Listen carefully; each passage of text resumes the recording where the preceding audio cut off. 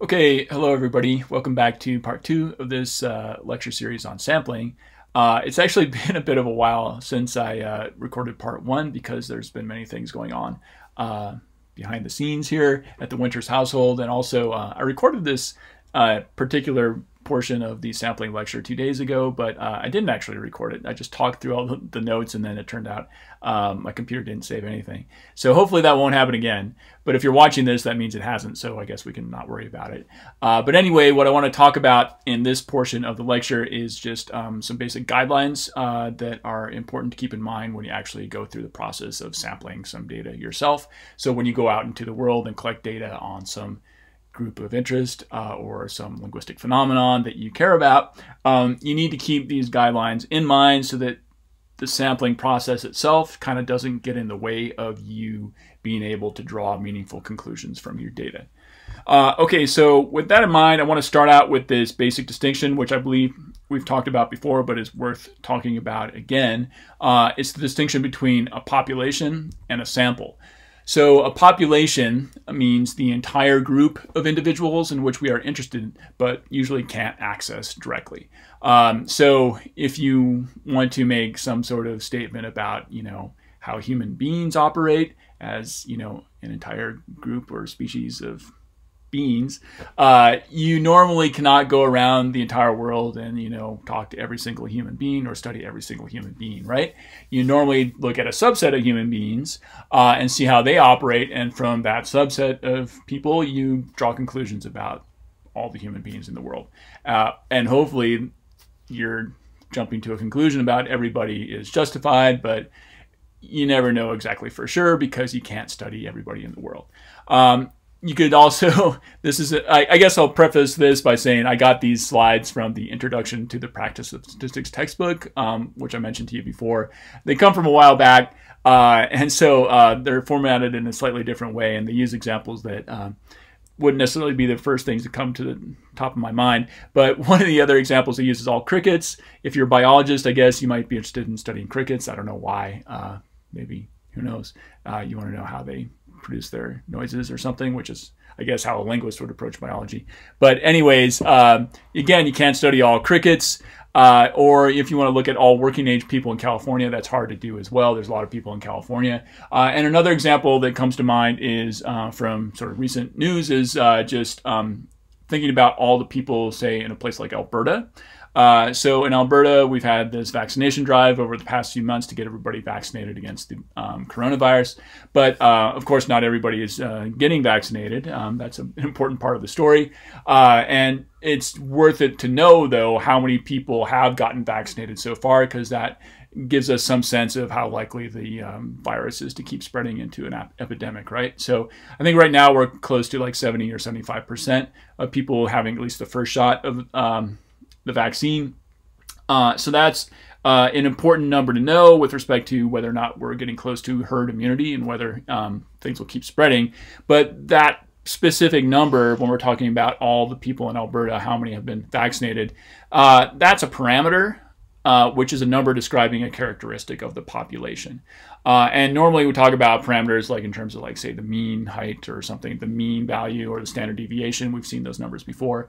Uh, but if they apply to every single you know, a description of every single member of a group, then they're a parameter uh, rather than something else, which is called a statistic. Um, yeah, so uh, that is the flip side of this distinction. So a sample is the part of the population we actually examine and for which we do have data.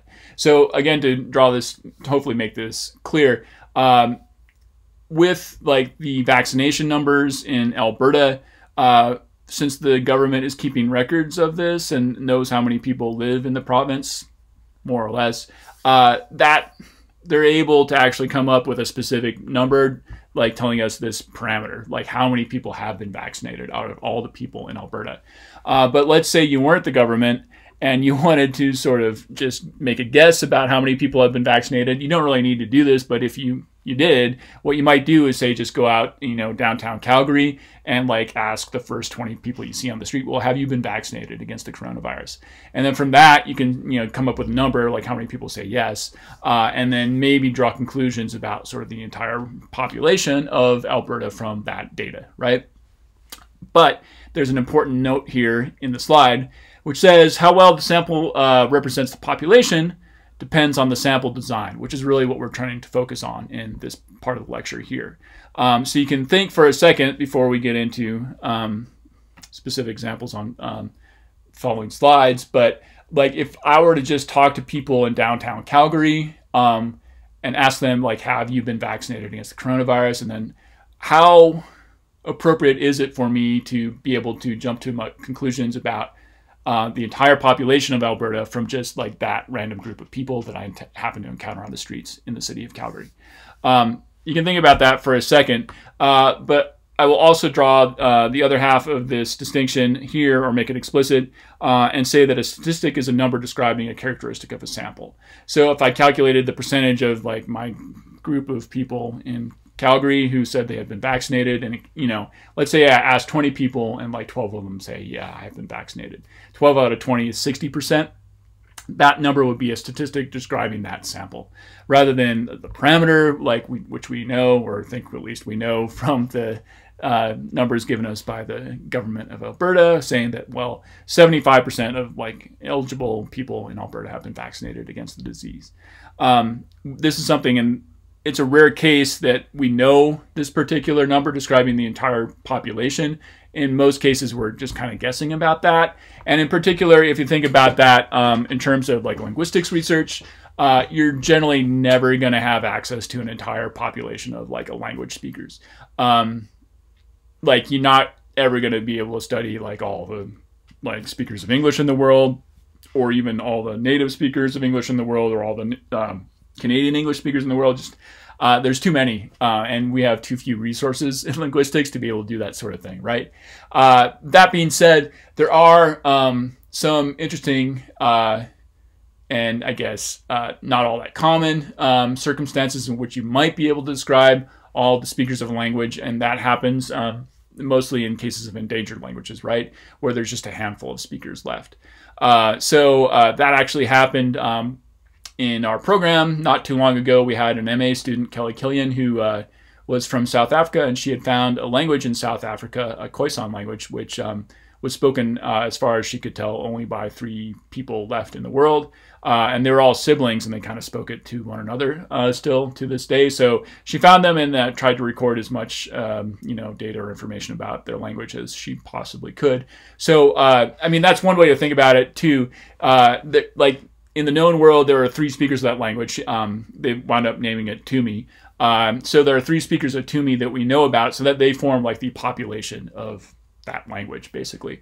Uh, you could think about it maybe in a broader sense, um, such that there that was a language which used to be spoken by more people uh, who presumably are all gone now. So, in a sense, that might form like a sample of the entire population of people who have ever spoken Tumi in the history of the world.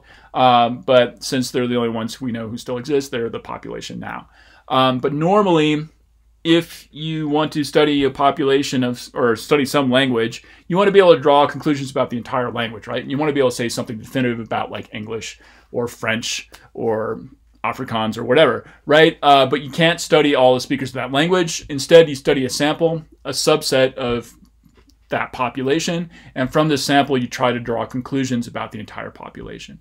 Uh, and in you know the research research setting in which we normally operate, we're basically you know usually only going to talk, interact with say a few speakers of a language or um, a small subset of like data that we get um, representing a much larger whole. Okay, so again, what I want to focus on for the next few slides is like the sample design, how we approach the sampling process, how that can affect this desire we have to jump to conclusions or reach, draw conclusions about the entire population of interest. Um, so there's one way we can do this, which I kind of just described, um, which is called convenience sampling. So in convenience sampling, you just ask whoever is around. Um, and an example given here is a man on the street survey. Uh, this comes with a picture, which actually looks like it might be a woman on the street survey, but either way, it's the same idea. Uh, you just go out, like in the city of Calgary, and ask people as they're walking around, like, you know, what do you think about this? Uh, or have you been vaccinated against the disease? Um, and you're doing that and just letting kind of participants in your poll just kind of come to you uh, because it's convenient to do that. You don't have to say move around and find them. They just like are walking around and you ask them. Um, and this is problematic uh, because it entirely depends on the sort of location and the setting in which you're doing this sort of sampling. Uh, so, like I said, I got these uh, notes from uh, a widely published textbook in the U.S., uh, and they use American examples, which uh, might not be immediately comprehensible to somebody in a Canadian situation, but they say, like, well, let's ask about gun control or legalizing marijuana on the street in Berkeley, or compare that to some small town in Idaho, and you'd probably get totally different answers. Yeah, no kidding. So, in case you don't know, uh, Berkeley uh, is the um, the home of the University of California um, in the Bay Area in um, California, uh, and is kind of uh, widely, you know, regarded as sort of the most liberal or progressive uh, city in America. Um, yeah, so and then in a place like Idaho, you'd probably get a lot more conservative sort of respondents using this sort of method. So you're probably going to get wide, widely different sort of responses to a question like, um, you know, asking about gun control or marijuana. Uh, but um, to sort of translate that to more of a Canadian context, I don't really know of, can't really think of any sort of location in uh, Canada, which kind of compares to how a place like Berkeley operates in the U.S. But uh, you might think about, say, asking people on the street uh, about climate change, say in like downtown Vancouver versus um, like Fort McMurray up in the oil sands in northern Alberta, you're probably going to get totally different opinions from a totally different group of people, right? Uh, so your responses will be biased sort of by the sampling process itself um, in this case. Um, so you can't just take your responses at face value in those circumstances. You have to acknowledge that the sampling itself might have had an effect on them. So this slide points out that bias is the real issue here. The opinions are limited to the individuals present, which may not reflect the individual, the relevant individuals of a population in its entirety. Um, yeah, so I will point out with this in mind um, that uh, people have noticed this about social social ah, social science research in general. Um, that the participants used for these um, the experiments that we run in social sciences uh, tend to be well convenient because they're nearby uh, and um, also have a series of properties which some people have tried to label uh, as being weird. Uh, so what does this stand for? It means that they're Western educated subjects from industrialized rich and democratic countries. Um, yeah, so you know places like Canada or the US, that sort of thing, right? So, I mean, it turns out this is not entirely arbitrary. Like, if you are living in one of these societies, you probably have more wherewithal at your disposal to be doing things like running social science experiments in the first place. Um, so, there's kind of a catch 22 there. But be that as it may, the problem is that you can't necessarily assume that the way people operate in Canada or the US applies to everybody like around the entire world, right? Maybe, you know, it winds up being they would wind up being similar to other subjects who come from other similar societies that are weird like this, um, but not everybody in the entire world. So um, the general point is to use caution when generalizing from your experimental results to the population of the entire world. And I've got a link here, which is also posted on the, the course website. And in fact, I um, will uh, show you the link here. Like if you go on the course website to this randomness link and open that up, um, it gives you uh, a handful of links I found over the years uh, that kind of help sort of enrich your understanding of statistics. Some of these, unfortunately, are are dead by now. Um, there was this uh, this site called Statistics Hell, which I thought was pretty hilarious, but um, is it's you know a way to help you learn statistics, but it's not uh, a hell themed site anymore because it, that was basically a joke about you know some people don't enjoy this class. Uh, more relevantly, this is the um, the uh, link about people in uh, social science research in America being weird. Um, and it says, yeah, we aren't the world. Very clever. Everybody's clever, right? Uh, so yeah, and it gives you examples like this, like um, you know, which line looks longer, and like if you're an American like me, you tend to say like this one, or at least you perceive it as such, even though like intellectually we can know that um, like these are the same length lines. Uh, it's just like these arrows at the top and bottom kind of confuse us. Uh, and there are cultures in the world though there where people have no problem like uh, seeing that the lines in the middle are the exact same length. Um, so what seems like fairly fundamental to us is not necessarily the case for everybody around the world. So you have to be careful about drawing those conclusions. And I guess the other example I'll use there is um, just the way we operate as well in uh, linguistics uh, at the University of Calgary and a lot of other places too. We uh, have a subject pool set up um, using students from our intro classes. Uh, they can sign up for a study and participate for extra credit. Uh, and to a certain extent, that's a form of convenience sampling because these are students who are convenient to use uh, for our studies because they're interested in it and they get some benefits from it as well. Uh, and we don't have to go out and do something more difficult, which is to study like everybody um, who might be relevant to the study uh, around the world. We tend to focus on like college age students who are around the age of 20, um, normally speaking, uh, and who are interested in the subject to begin with. Um, so we're not necessarily getting a totally representative uh, view of the world from this just this group of people. Um, and I guess I would say in most cases, um, you can kind of write that off a little bit. Uh, we don't know since we actually focus mostly on such subjects. We don't know exactly how they might differ from like people you know who are middle aged or elderly or whatever.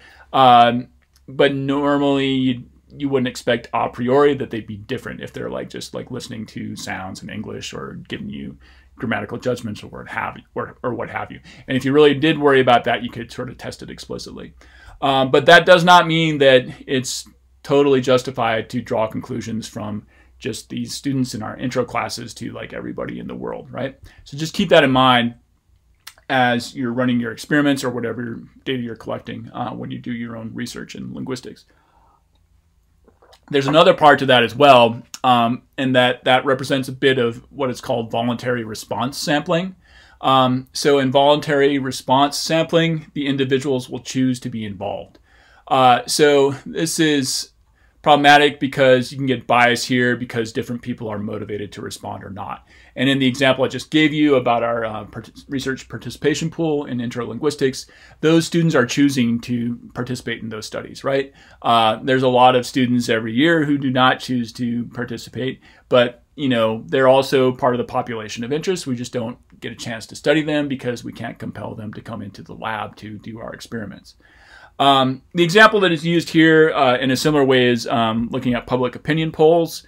Um, and I'll show you kind of the couple examples I've gotten from the slides for this. But so back in the day, in the 80s, there were um, a couple of advice columnists who would write regularly for newspaper readers. Uh, and I haven't seen them for a very long time. I used to read the newspaper uh, consistently when I was a kid in the 80s. Uh, I wouldn't read these columns, but what the way it was structured is that one was called Ann Landers, and then her twin sister was uh, Dear Abby. Uh, Abigail Van Buren, I believe, was her full name. Uh, it, I mean, just when I stop and think about it, it's just kind of an odd thing. But uh, what they would do is both sisters would take uh, questions from readers of newspapers around the country and who were seeking advice uh, on various topics for their personal lives, and then they would give them advice and write it up. Uh, yeah, I mean, people still do similar things in the modern day, and maybe you know, Ann Landers and Dear Abby are still doing it um, wherever they might be. Uh, but one example they uh, came up with here is that uh, apparently 70% of parents out of 10,000 wrote in to Ann Landers to say that having kids was not worth it. If they had to do it over again, they wouldn't. Uh, but they, you know, were motivated to say that because apparently they weren't having a great time being parents. Uh, and I guess somebody did a more scientific study uh, and found out that 91% of parents would have kids again. And what is more scientific about the more scientific study is that the parents were selected at random uh, rather than just waiting for those parents to write in to tell Ann Landers or Dear Abby what they thought. Um, so, uh, as is pointed out here on the slide, the sample design in this sort of voluntary response case can systematically favor a particular outcome. So, if people are more motivated to sort of complain about things, it like in this case, you're going to wind up getting a more negative sort of view of the overall population, basically. Uh, and another example I can think about that for this um, within sort of our everyday university experience uh, is sort of student evaluations of instruction, which we do every year uh, as instructors at the university. We get some feedback from the students who have been in our class about how we did as instructors, what we could do better, what we did well, that sort of thing. Uh, and ideally, the way the university runs it is that every student in the class is supposed to fill out a response form talking about these various things, uh, and then you get a good picture of like the overall uh, sort of experience that students had. Um, you can contrast that with uh, a website like RateMyProfessor.com, uh, where people um, just sort of voluntarily let the world know their thoughts about a particular instructor for a particular class. And what you wind up getting in those circumstances are typically two types of responses, which are somebody had a really positive experience or somebody had a really negative experience. Um, and it can kind of skew your vision of how you know the class went overall for everybody because you're getting sort of these extreme uh, examples on either side. And the same is true. Um, one would think for you know like Google ratings for like you know restaurants or hotels or whatever, right? Uh, somebody has to be motivated to go like you know four out of five stars, right?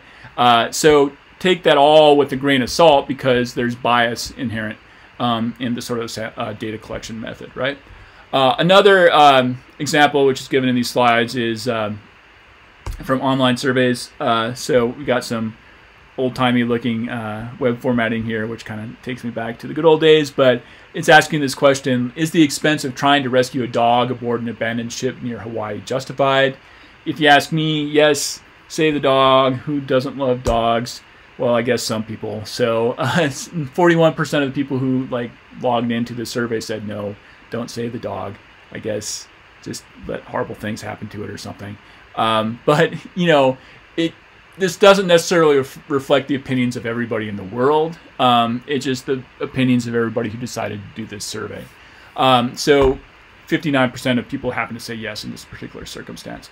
And what's nice about this, um, I don't know if anybody on the internet is still this responsible. This uh, survey came from 2002. but uh, at the bottom here it says, this quick vote is not scientific and reflects the opinions of only those internet users who have chosen to participate. Um, yeah, so it's being honest about, you know, don't draw too many conclusions from just this data alone. Uh, I wish the entire internet kind of had uh, that warning label on it, but what are you going to do? We live in a free society and people can say lots of things on the internet, no matter how stupid or horrible. And I guess that applies to me too, but I'll try my best not to those characteristics. Instead, what we will try to do as responsible scientists is to um, implement what is called probability or random sampling. So, in this um, sort of approach, what you do is that you randomly select individuals from your population so that no one group is overrepresented. Over, overrepresented. Uh, sorry. Uh, what this will do is get rid of that bias, which is a problematic feature of those other sampling approaches, right? So there's no bias in randomness. It's just, you know, you can randomly generate a number using R or maybe Excel, and from those numbers, you can just pick somebody out of a group of people without any other criteria by which they are selected, right? Um, and that is going to give you the best picture of what the overall population looks like without you having to sample every single member of that population. Um, I'll give you an example of this. Um, well, here's um, further sort of details on this approach, but uh, what's called a simple random sample or an SRS is made of randomly selected individuals, and each individual in the population has the same probability of being in the sample. Uh, and what that means is that all possible samples of size n have the same chance of being drawn. Again, this gets rid of that bias of like you being more likely to study certain groups or individuals in the population over others. Um, yeah, so um, I'll give you two examples of this. The one example they mention here is um, you can say take the name of everybody in a population and put their names, uh, draw them, write them on a piece of paper and put that those pieces of paper in a hat, and then draw out some sample of those pieces of paper to study those people for whatever reason. Uh, and this is kind of a funny example because um, as you might know, uh, I spend a fair amount of time outside of academia playing the sport of ultimate frisbee. Uh, and uh, in the olden days in ultimate, uh, when we would, before the pandemic, when we get together more often, um, there's a tradition called a hat tournament. Uh, which you know, like on a Saturday morning, just like okay, anybody wants to play a hat tournament, just show up at this field. Uh, and then when you get there, you write your name on a piece of paper and put it in literally in a hat. Uh, and then you would draw names out of the hat at random uh, just to form teams. Um, and it's actually a really good way to sort of run the tournament because you know uh, there's like this social aspect of sports where some people think they're better than others, or some people only want to play with their friends, or some people don't want to play with people they don't like, so on and so forth. But with this randomness, you would just, you know, randomly mix people up, toss salad style, uh, and then you get a team out of that. So you'd meet new people and you'd play with um, people you might like or you might not like. But overall, you would generally get the same level of quality across teams, which is kind of nice because you want what you ultimately want there is, uh, haha, uh, some fairly good competition just for fun, right? Um, so that's sort of an example of random sampling. Um, I had another example uh, which I thought of. Um, maybe I'll close this down. It seems to be overheating my machine. Uh, but the dictionary, or, the Atlas of North American English, was this project uh, that Bill Labov and Charles Boberg and some colleagues worked on uh, back in the 90s. Uh, and they came up with lots of cool data about how English is spoken in primarily in Canada and the U.S. Right, uh, and so um, I haven't looked at this uh, atlas for a long time, but I, I remember hearing descriptions of it, and uh, if I remember correctly, the process they used uh, to get this data was it, yeah, something they could do in the 90s, which I don't think they could do um, again. But back then, uh, people still consistently would normally put their uh, numbers and names in a phone book. Um, so you could look at the phone book for a city like, say, Detroit, and you could just randomly pick names in the phone book, call up that number, and see if somebody would respond. Um, and that's what they did. They uh, I can't remember all the different questions or how they got the exact speech data they wanted, but um, you know they would call names in a phone book for a particular city uh, until they got two respondents from each city. So you can actually see here for Calgary they got two responses here. This is plotting data um, for the vowel oo. Is it um, sort of if the blue ones are less than 1200 hertz, so that's a backed oo, like oo. Uh, and the orange ones are fronted oo, like oo, uh, which you get more in the American South. And then there's like a mixture. Of the yellow ones, I guess, are somewhere in the middle. Um, but anyways, uh, they got two data points for each city, right? Uh, and this is um, so. I mean, this the ideal there was the randomness ideal, right? So they didn't want to bias uh, their selection mechanism based on um, anything they knew about the city in particular. They're just randomly grabbing names out of a phone book. Uh, there's still a bit of like the other two sampling problems in this method though, right? Because um, there's the bit of convenience there. Like there are more, even in the 90s, there are certain people who didn't have their names in the phone book, right? Uh, so they weren't able to get access to them. Um, and so there's a bit of convenience sampling there. And there's also, you know, uh, they weren't calling all the tiny little towns throughout like the entire countries of Canada and the U.S. They, it looks like they were just focusing mainly on the cities here. Um, and uh, there's also a bit of the voluntary response sampling here because uh, if somebody just calls you out of the blue, will you answer? Will you won't? Will you not answer? Uh, will you won't? Uh, yeah. So um, only the people who wanted to talk to them, you know, got their data into the um, project. I mean, in this particular case, it winds up being structured data. You can see that uh, something fairly consistent is going on here in terms of like the vowel ooh.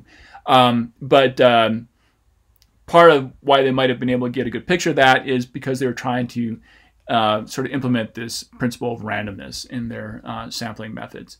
Um, I, and one of the reasons I remember this example is because uh, it's not all that common, unfortunately, in linguistics research. Um, it's kind of almost going the extra mile, even though it's something that I think any statistician will tell you is something you have to do in your research, uh, which is to sample at random uh, in order to get a good picture of the population that you're studying. Um, so try that if you can, if you can find a way to make it happen. Uh, acknowledging, of course, that um, there's always going to be some flaws with our research. Uh, so, you know, don't bang your head against the wall too much if you wind up doing something that's not perfect. Uh, we need to be a little bit forgiving to each other uh, as scientists. However, uh, I can give you one more um, terminological definition here before I sign off for this part of the lecture. Um, it, this is a slightly more complex form of random sampling called a stratified random sample. Uh, and unfortunately, this um, would be abbreviated SRS as well. But um, a stratified random sample is essentially a series of simple random samples performed on subgroups of a given population. And these subgroups are chosen to contain all the individuals with a certain characteristic. And it's this is something we actually do fairly often um, in linguistics research, right? So uh, the first example here um, would not necessarily be immediately relevant to all linguistics, but say like divide the population of University of Calgary students into males and females. Say if you wanted to study differences in their heights or differences in their F zeros, something like that. Um, you can easily think of like, well, I've got a group of males, like all the males at the U of C, and then all the females at the U of C. Those form populations, right? And then I want to, I want to, sorry, sample at random from those two groups, sort of independently, right? I want to throw all the male names into a hat grab a few at random for my sample. I want to throw all the female names at ran- or and a hat and then sample at random from those female names, and that's my female sample, right? Or you could say more relevantly, think about dividing the population of Vancouver into not native and non-native English speakers and see how they differ from each other. But you would still want to be sampling randomly for each group or dividing the counties in America as either urban or rural based on you know population density. Uh, I guess this might be another cultural thing which wouldn't necessarily translate all that well to Canada. Uh, but just to explain, um, sorry, like the U.S., uh, hopefully it's obvious from the name of the United States of America. Uh, there's a country, uh, and then the country is subdivided into states. Uh, and then those individual states are all subdivided into what are called counties. They're like the next level of government structure down. Um, I mean, there's a couple of counter examples of that, like in Louisiana, they're called parishes, but they're basically the same thing. Um, anyways, uh, Canada is divided into provinces and I guess territories too. Uh, and then um, I think officially the provinces in Canada are divided into counties as well, but I, I don't get any sense that anybody pays attention to like what the counties in Canada are doing. Um, so, but that's that's what that terminology means. I also, I actually, by the way, will say there's supposed to be a Senate in Canada too as part of Parliament, but I have no idea what the Senate in Canada does, and I, I haven't met anybody else who does either. So if you you can explain that, feel free to do so in the comments. But we'll go back to the point here, um, which is stratified random sampling is a typical approach we take uh, when studying sort of multiple groups, I guess, or when we want to make comparisons across groups. Um, in linguistics research. Um, and uh, what happens here is, uh, or one feature of this which is nice, is that you don't need to have the exact same numbers across the two different groups. So, for instance, if you're going to look at males and females at the U of C, uh, you could take like 100 males and 150 females uh, and make comparisons that way. Uh, as long as you're sampling randomly for each of the individual groups, you're fine in doing that. Um, it could have implications for the statistical tests you run down the line if you don't have the exact same numbers matching up. There are some tests that want you to have matching numbers and others that don't care. Uh, but I'm getting a phone call here, so I might have to pause. But I think you get the general point, and in fact, I think that might be good enough for this lecture. So I'll do number three here in a minute, and I'll see you then.